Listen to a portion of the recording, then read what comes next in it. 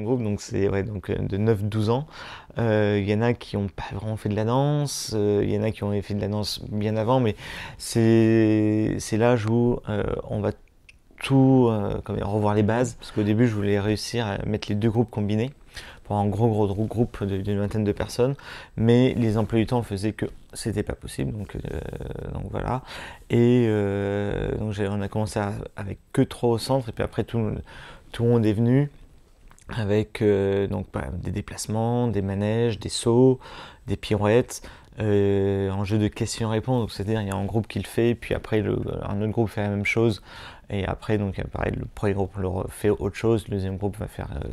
autre chose, un petit canon aussi euh, de lignes, parce qu'il y avait trois lignes du coup, et euh, une pause finale où il y avait un gros déplacement à faire. Donc et ce groupe-là m'a vraiment vraiment surpris parce que j'étais en retard avec le groupe d'avant, et quand je suis arrivé avec ce dans la salle, elles étaient toutes euh, habillées, coiffées euh, et en train de répéter. Et ça, honnêtement, pour euh,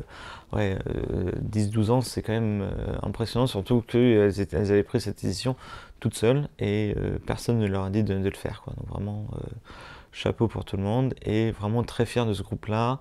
Euh, donc j'espère qu'elles vont revenir l'année prochaine et qu'on va pouvoir faire autre chose, parce que je pense qu'on peut vraiment faire quelque chose de bien avec ce groupe-là.